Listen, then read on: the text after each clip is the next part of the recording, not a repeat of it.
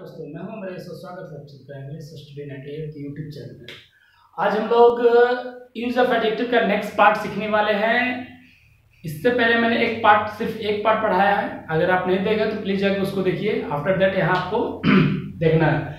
आज हम लोग सीखने वाले एल्डर और ओल्डर के बीच में डिफरेंस क्या होता है एल्डर क्या होता है ओल्डर इसके बारे में सीखेंगे, ठीक है? देखिए एल्डर के साथ साथ एल्डेस्ट भी होता है। एल्डर के एल्डर और एल्डेस्ट ओल्डर और ओल्डेस्ट ये दोनों में कंफ्यूजन होता है स्टूडेंट को। कहाँ कहाँ कंफ्यूजन होता है? आप देखिए।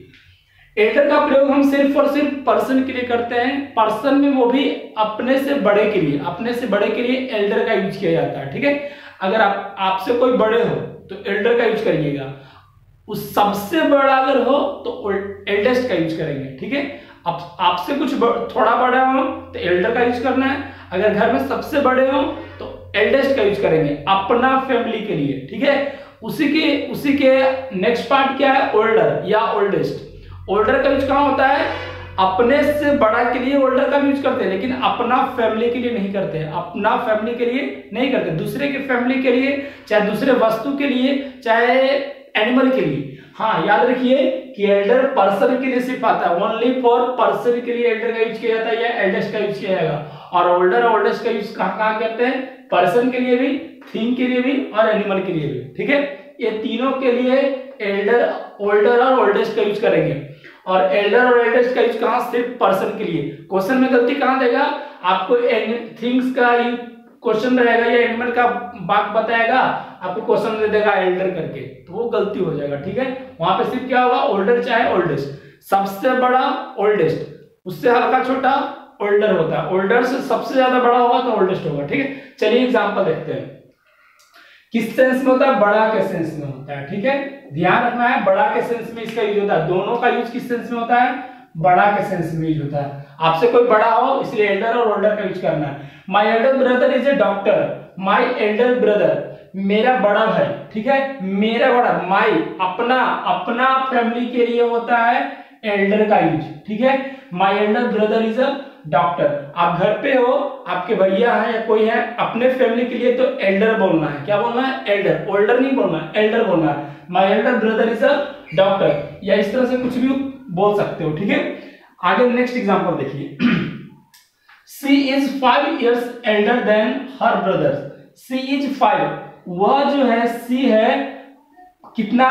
पाँच साल। फाइव इयर्स बड़ा है, ठीक है? एल्डर देन हर ब्रदर सबसे पहले कि अपना फैमिली के लिए एल्डर का यूज़ करते हैं। एल्डर का यूज़ करते हैं। अपना फैमिली के लिए एल्डर का यूज़ करते हैं। और यहाँ अपना फैमिली की ही बता रहा है कि वह जो है अपने भाई से पाँच साल बड़ा है। ठीक है? तो लेकिन आपको मैं बता दूँ, जहाँ भी टाइम का बोध करवाएगा ठीक है? देखिए टाइम का यहाँ पे बोध करवाया गया, समय का बोध करवाया गया। जहाँ भी टाइम का बोध करवाया जाएगा ना तो वहाँ पे एल्डर का प्रयोग नहीं होता है, चाहे वो अपना फैमिली हो, चाहे दूसरा का फैमिली हो। अगर जहाँ भी टाइम का यूज़ किया जाए, जहाँ भी टाइम का यूज़ किया जाए तो अपना फैमिली हो, चाहे दूसरा का फैमिली हो एल्डर का यूज़ नहीं करते हैं, ठीक है? एल्डर का यूज़ हम नहीं करते, किसका यूज़ करते हैं? ओल्डर का यूज़ करते हैं। क्लियर है? ओल्डर का यूज़ करना सॉरी समय का जहाँ भी ज़िक्र किया जाए तो बड़ा के सेंस में अपना फैमिली हो या दूसरा का फैमिली हो ओल्डर का यूज़ करेंगे। क्लियर है? चलिए। और याद रखिए ओल्डर के साथ हमेशा देन लगता है। ओल्डर के साथ देन चाहे ओल्डर के साथ देन का प्रयोग करेंगे ओल्डर के साथ देन का प्रयोग करेंगे, और एल्डर के साथ टू का प्रयोग करेंगे। ओल्डर के साथ देन का प्रयोग करेंगे, और ओल्डेस्ट के साथ टू का प्रयोग करेंगे। ध्यान रखिएगा एल्डर टू लेता है कंपेरेटिव डिग्री में ओल्डर देन लेता है। ठीक है ना? तो यहाँ पे समय का ज़िक्र किया गया है, इसलिए एल्डर नहीं होगा, अपना फैमिली हो, तब पर भी नहीं होगा, ठीक है? यहाँ पे ओल्डर देन हर ब्रदर होगा। आगे देखिए I am the oldest of all my brothers मैं अपने भाइयों में सबसे बड़ा हूँ, सबसे बड़ा हूँ तो सबसे बड़ा के लिए ओल्डेस्ट गलती यहाँ पे किया गया। अपना फैमिली के लिए एल्डेस्ट लगेगा। क्या लगेगा? एल्डेस्ट यहाँ पे ओल्डेस्ट काटिए क्या लगाइए? एल्डेस्ट ठीक है? ओल्डेस्ट कटेगा क्या लगेगा? एल्डेस्ट सबसे बड़ा के लिए, अपना फैमिली में सबसे बड़ा के लिए क्या हो गया? एल्डेस्ट यूज़ होगा। ठीक है?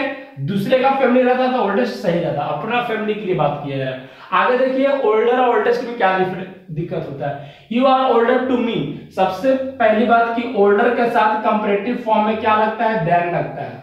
ठीक है? आपको याद रखना है कि कंपेरेटिव फॉर्म में एल्डर के साथ टू लगता है और ओल्डर के साथ देन लगता है। क्लियर एक कंडीशन और याद रखना है, जहाँ भी टाइम का बोध करवाया जाए तो चाहे अपना फैमिली हो, चाहे दूसरा का फैमिली हो एल्डर का प्रयोग नहीं करते हैं ओल्डर का प्रयोग करते हैं। क्लियर है? यही एग्ज़ाम में पूछता है अक्षर। You are older than me ये सही हो गया। टू नहीं लगेगा। ओल्डर के साथ टू नहीं आता है, ठीक है? दिस बिल्डिंग अच्छा देखिए, ये वस्तु के लिए यूज़ किया गया। दिस बिल्डिंग इज़ एल्डर कोई बिल्डिंग ही ना बड़ा होता है ना? उस बिल्डिंग से ये बिल्डिंग बहुत बड़ा है ना? कहा कहा जाता है कि ये बिल्डिंग 2005 में बना ये बिल्डिंग 2020 में बना तो बड़ा कौन हुआ? 2005 वाला हुआ ना जी? वही बात है। चाहे हाइट में भी देखा जाए ये थ्री फ्लोर का है कोई फाइव फ्लोर का है तो बड़ा कौन है? वो है। This building is elder to सबसे बा, पहली बात की एल्डर यहाँ नहीं लगेगा। क्या लाइन लगेगा? एल्डर नहीं लगेगा क्योंकि दिस बिल्डिंग वस्तु के लिए यूज़ किया गया है तो वस्तु के लिए ओल्डर होता है। यहाँ पे ओल्डर लगाएँगे ठीक है? और ओल्डर के साथ, अभी बताया टू नहीं लगता है। ओल्डर के साथ क्या लगेगा? देन लगेगा। ठीक है? खत्म। हो गया सही। कोई दिक्कत? नहीं दिक्कत तो लाइक कर दो। I have seen the eldest playground देखिए यहाँ पे प्ले ग्राउंड की बात किया गया। सबसे पुराना प्ले ग्राउंड देखा एशिया का सबसे पुराना प्ले ग्राउंड मैंने देखा है। तो सबसे पुराना के लिए, सबसे पुराने के लिए वस्तु के लिए यूज़ होता है तो ओल्डेस्ट का यूज़ करेंगे। इसका यूज़ करेंगे? ओल्डेस्ट का। ठीक है? I have seen the oldest यहाँ पे लगेगा एल्डेस्ट नहीं लगेगा यहाँ अपना फैमिली के लिए एल्डेस्ट होता है। लेकिन यहाँ पे प्लेग्राउंड की बात किया गया है, इसलिए एल्डेस्ट नहीं ओल्डेस्ट होगा। कोई दिक्कत? अगर दिक्कत होता है कमेंट करो कमेंट का जवाब दूँगा। चलो, आज के इतना ही। कल नेक्स्ट क्लास में मिलते हैं। चैनल को subscribe like and share more and more ठीक है? चलो टेक केयर